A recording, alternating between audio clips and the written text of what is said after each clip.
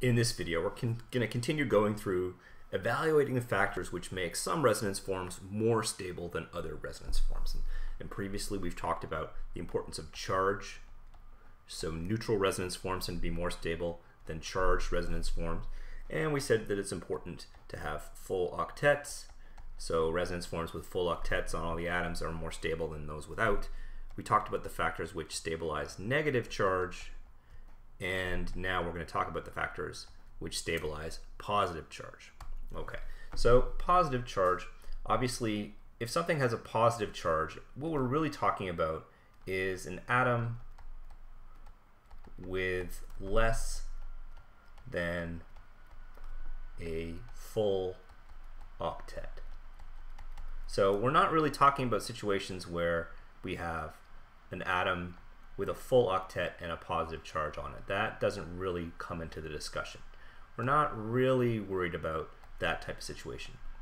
We're more interested in is situations where we have to pick between, let's say, carbon atoms, where we have to decide which carbon atom which bears a positive charge is going to be a more significant resonance form. So if I was to compare this resonance form, let's say, with this resonance form. So, so CH3, let me just draw it out here, CH3, C, CH3, and double bond, C, and maybe I'll move over this a bit here, CH2, positive charge, and a hydrogen. Okay, so let's look at these two resonance forms. They differ by the fact that here, obviously, we've got a carbon with only six electrons on it, this is called a carbocation. And this carbon over here has only six electrons on it. It's also a carbocation. Now, which carbocation is going to be more stable? Well, carbocations are electron poor. Right? So electron poor species are the more electron poor they are, the more unstable they are.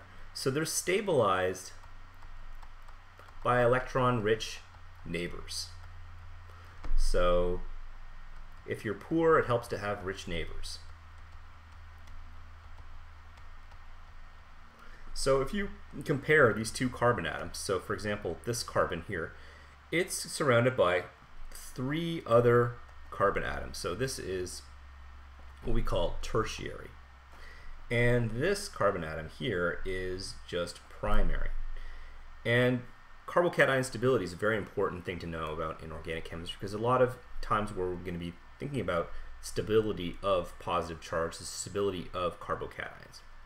And the more carbons that are attached to a carbocation, the greater the stability because those carbons can donate electron density to, to the carbocation in a way that that hydrogens cannot. So hydrogens do not have excess electron density that can really donate to help stabilize that positive charge.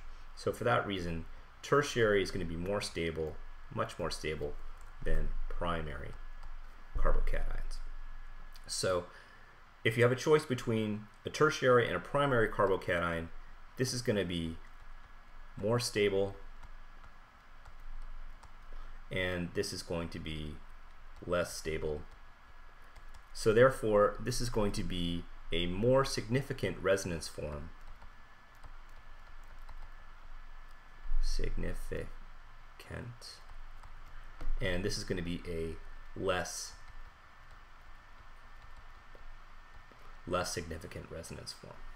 So again, it comes down to what atom is able to stabilize that positive charge the most and it'll be the one which is connected to the most carbon atoms in the case of, of carbon. Now, there is another factor when thinking about factors which stabilize positive charge, and this is more, I guess, of a common sense issue. So if you have a choice between putting a positive charge, in other words, an atom with less than a full octet on either uh, on the, the more electronegative atom or the less electronegative atom, so let's draw this out here.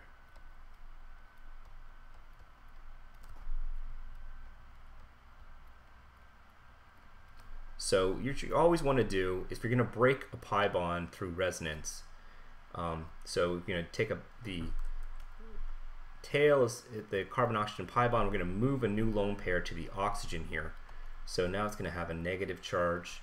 This carbon is going to have a positive charge.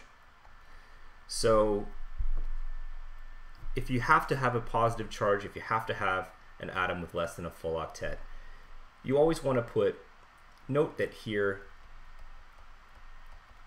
carbon is less electronegative than oxygen. So, so in other words, negative charge will go toward the more electronegative atom and therefore that positive charge is going to be left behind on the less electronegative atom.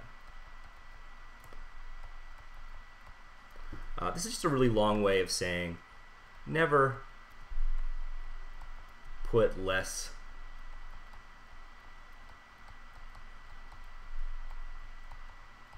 never put less than a full octet on nitrogen or oxygen in on case unless you're talking about nitrenes or carbenes or uh, oxenes, in which case then you know what you're doing already. You don't need to watch this video.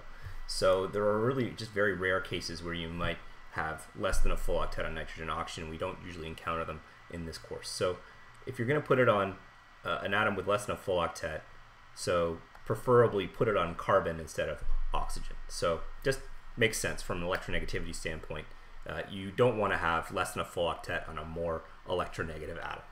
So that's how we stabilize positive charge. And in the next video, we'll talk about aromaticity and how that's important for resonance stabilization.